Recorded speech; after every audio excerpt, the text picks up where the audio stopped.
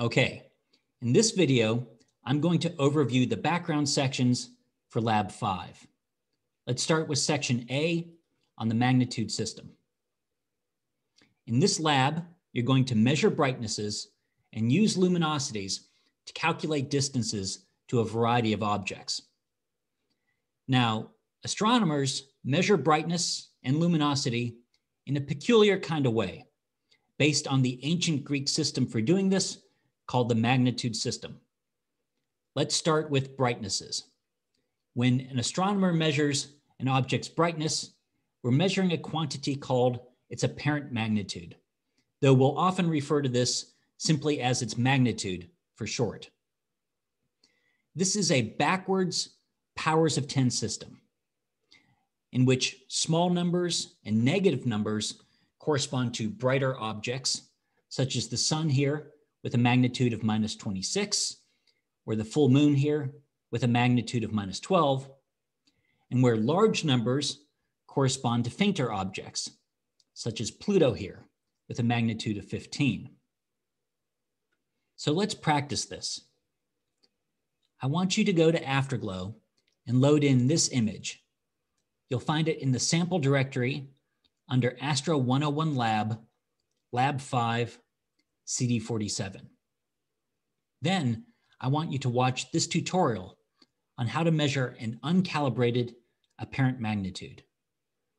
Once you've done that, go ahead and measure the uncalibrated apparent magnitude of star A. You can insert that value here. Now, it's uncalibrated because if we were to go back and take this image again and remeasure star A, we'll come up with a different value depending on how much atmosphere we're looking through this time versus last time, whether we're looking through a thin layer of clouds this time versus last time, or if this time we use a different telescope and camera, which may allow more light or less light through. So we'll come up with a different value. And the way we correct for this is by using a reference star. This is a star of known apparent magnitude. And you use it as follows. Go ahead and measure the uncalibrated apparent magnitude of the reference star, same as you did for star A, and put that here. Now, since this is a reference star, we know what apparent magnitude it should be. It's 12.02. So you can then calculate a correction constant. The correction constant is the true magnitude of your reference star, in this case 12.02, minus the uncalibrated apparent magnitude that you just measured. Once you have that correction constant, you can use it to correct any uncalibrated apparent magnitude in the field. So let's use it to correct that of star A. Take your uncalibrated apparent magnitude for star A, add the correction constant, and then you'll have the calibrated apparent magnitude for star A. And you can put that here. Now, the true magnitude of star A is 13.75. And if you did all this correctly, you should be within a few hundredths of a magnitude of that value. Okay, so that was brightnesses. Next, we need to talk about luminosities. So let's go to section B, standard candles. So there's a difference between brightness and luminosity. Luminosity is intrinsic to the object. It's the same, whether the object is close to you or far away. For example, take a light bulb. Its luminosity is measured in watts. A 60 watt light bulb is always 60 watts whether it's close to you or far away. But its brightness does, of course, depend upon its distance away. So there's a relationship between brightness, luminosity, and distance, and you may have seen it before. Here it is. An object's brightness is equal to its luminosity divided by 4 pi distance squared. And you can solve this for distance, and you get distance equals the square root of the quantity luminosity divided by 4 pi brightness. So if you knew an object's luminosity, all you would have to do is measure its brightness, which we learned how to do in the previous section, and you could then calculate its distance away. However, for most objects, we don't know their luminosity. You can't see luminosity. You can see brightness, but you can't see luminosity.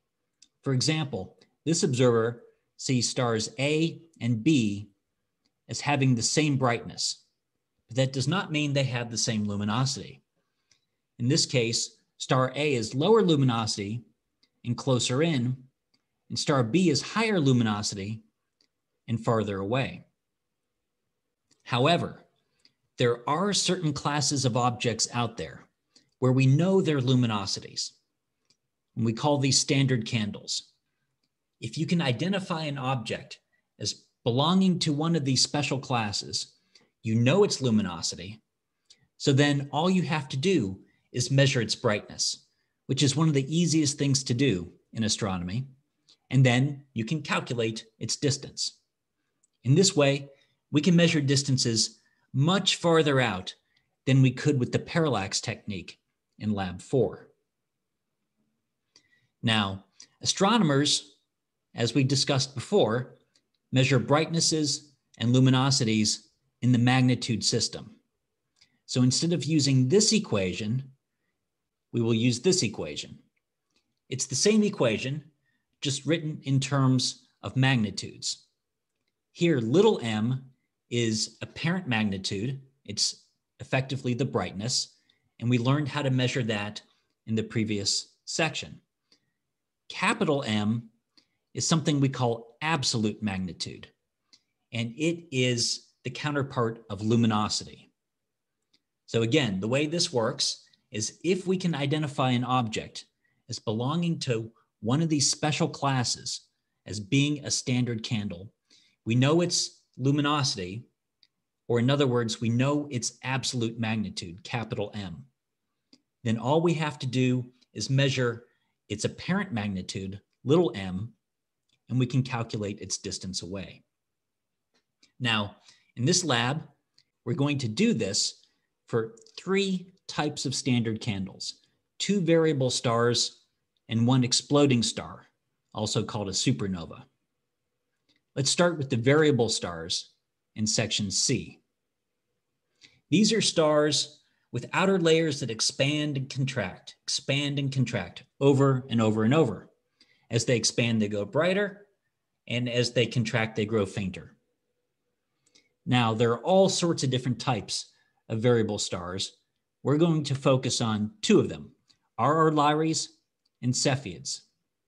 RR Lyraes vary with a period that's less than one day. Cepheids, on the other hand, vary with periods that are longer than one day and can be as much as a few months in duration. Let's start with the RR Lyraes. We found some RR Lyraes nearby, close enough that we could measure their distance with parallax. We also measured their average brightness, their average apparent magnitude, and that allowed us to calculate their average luminosity, their average absolute magnitude. And we learned they all have approximately the same average absolute magnitude, 0.75.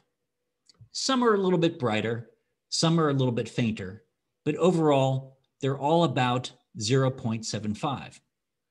We can then use that information to determine the distances to RR Lyraes that are much farther away. We find a variable star and its period is less than one day, telling us it's an Lyrae.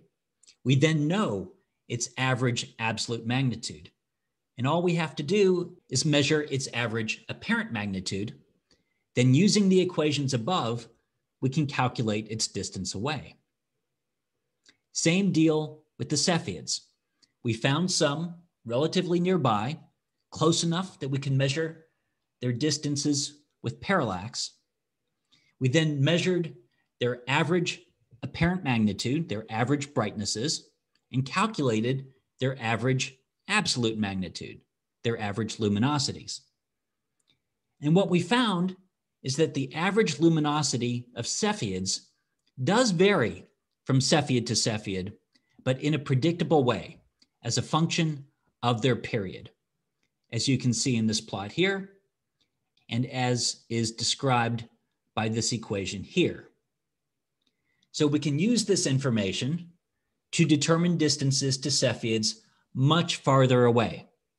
If we find a variable star too far away to measure with the parallax technique, and we measure its period to be longer than one day, telling us it's a Cepheid, we can then plug that period into this equation, and we then know its average absolute magnitude, its average luminosity. Then all we have to do is measure its average apparent magnitude, its average brightness, and we can calculate its distance away. All right. Let's go to section D. This is our final standard candle. This is not a variable star, but a type of exploding star called a type 1a supernova explosion. It's a special kind of supernova where you have two stars in close proximity. One goes through its life cycle, sheds its outer layers, and becomes something we call a white dwarf. The other star eventually nears the end of its life cycle. It becomes a giant star. And since it's in close proximity to the white dwarf, when it does this, mass begins to flow from the giant star onto the white dwarf. And the white dwarf slowly becomes more and more and more massive until it becomes 1.4 times the mass of our sun. That's the mass at which a white dwarf can no longer hold itself up and it begins to collapse. And as it collapses, it heats up and pretty quickly it achieves the carbon ignition temperature, six times 10 to the 8 Kelvin. Since the white dwarf is made primarily of carbon, as soon as it hits this temperature, all that carbon ignites and the star blows up. And that's why this type of supernova explosion is a standard candle, because you're always blowing up the exact same amount of fuel. So it will achieve the same peak luminosity.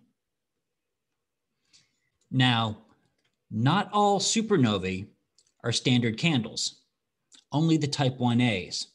So if you find a supernova explosion out there, first you need to be able to identify it as a type 1A. Type 1As peak early, within a few weeks, and then fade away. The other types of supernova explosions peak and then plateau for many months before fading away. So this works as before. We found some type 1a supernovae in nearby galaxies, close enough that we can measure the distance to these galaxies and hence to these supernovae using the Cepheid technique from the previous section. Then we measured their peak apparent magnitudes, their peak brightnesses, and could therefore calculate their peak absolute magnitudes, their peak luminosities. We found that all the type 1a had the same peak luminosity, peak absolute magnitude, and it's given by negative 19.3. Given this, whenever we find a type 1a farther out farther than we can measure the distance to it using the Cepheid technique, all we then have to do is measure the peak apparent magnitude. Given that and this peak absolute magnitude, we can calculate the distance to these supernovae and hence distances to galaxies much, much farther away. Okay, that's it for this video.